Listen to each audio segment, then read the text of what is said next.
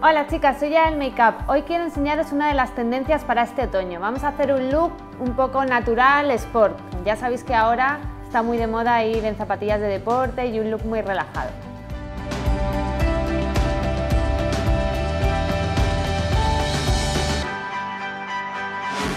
Bueno, vamos a ver cuáles son los colores que se llevan esta temporada. Como todos los otoños, el marrón predomina y esta vez son irisados. Os voy a enseñar a trabajar además unas sombras en crema. Las vamos a aplicar con el pincel del corrector. Vamos a agarrar el clarito. Importante de las cremas muchas veces si veis se quedan así un poco rajadas y un poco secas. Con un poquito de crema hidratante podemos volver a revivirlas y si no con el calor. En mi caso con el calor de los focos no me ha hecho falta hacer nada, pero ya veis que sí que está cuarteada.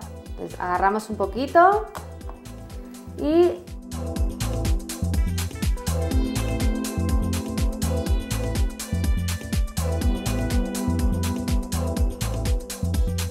¿Veis que? En todo el párpado.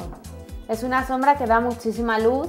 Siempre normalmente las sombritas irisadas pues nos da más luz. No nos hemos salido mucho de lo que es el, el párpado móvil porque luego vamos a poner la otra oscurita. También lo bueno que tienen estas sombras que son ideales para trabajar con los dedos. Untas un poquito. La verdad a mí, si estoy maquillando a alguien, siempre se lo aplico con pincel porque es más higiénico, pero para nosotras es muchísimo mejor trabajarlo con el dedo porque con el calor se derriten y se extienden mejor.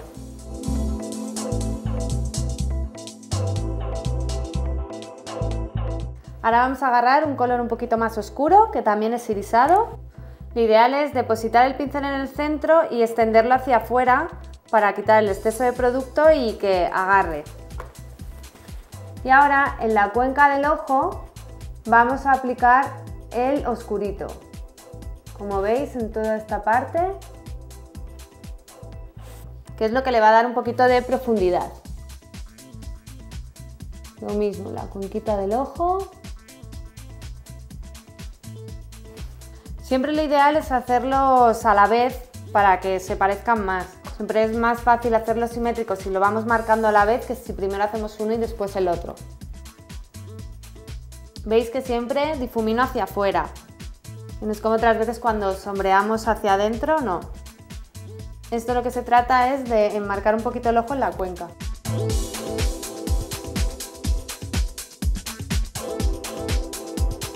Vamos a hacer una rayita delgadita. Bueno, primero nos vamos a rizar la pestaña, que es lo que nos va a ayudar a poder hacer la raya bien.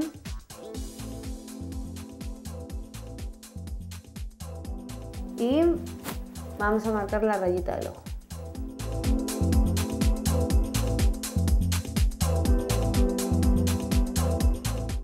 En esta ocasión, como lo que vamos a hacer es un look como muy de sport, de diario, como una cara lavada, un poquito más maquillada. No vamos a sacar rabito ni nada porque pues va a quedar más sencillo y más bonito así, va a quedar más natural.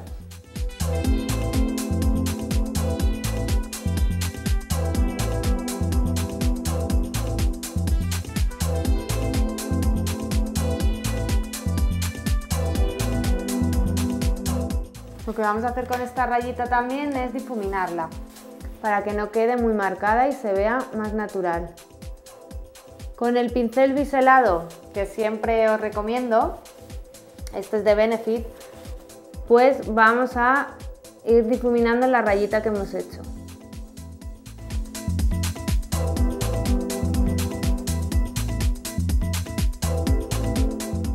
Vamos a delinear un poquito la ceja, recordar que es un look natural y tiene que ser un color, bueno, siempre tiene que ser un color que sea muy parecido a tu ceja.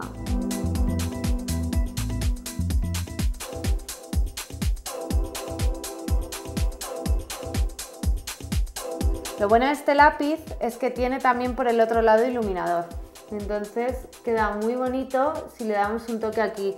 Además es muy importante en los looks de cara lavada que iluminemos muy bien porque es lo que nos va a hacer tener un rostro bonito, ya que no va a llevar colores así que destaquen mucho, ni el labio, ni el ojo, pues entonces sí darles unos puntitos de luz nos va a ayudar mucho.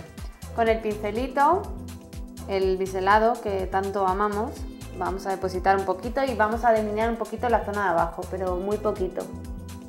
Para darle un poquito de fuerza, pero no, no un delineado como el que llevamos arriba.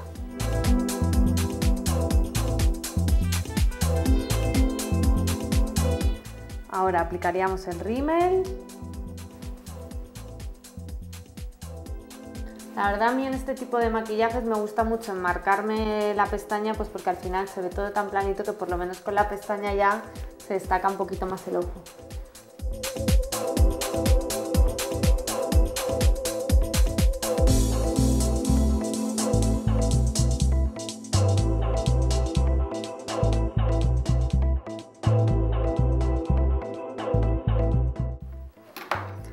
Después vamos a aplicar el corrector.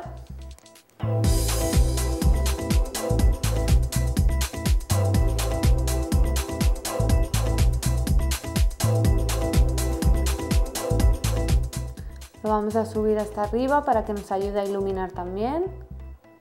Los coloretes que vamos a utilizar también para esta temporada son un poquito entre melocotones y rositas.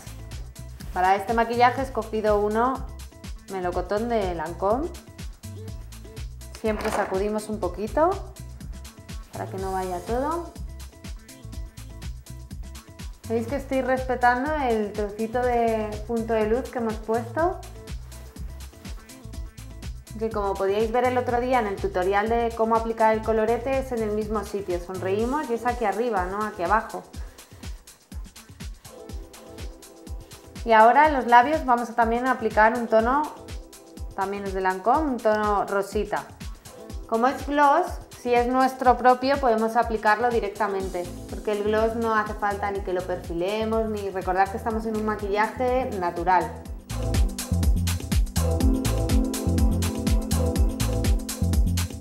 Ahora también vamos a aplicar un iluminador en tonos naranjitas y vamos a aplicarlo en esta zona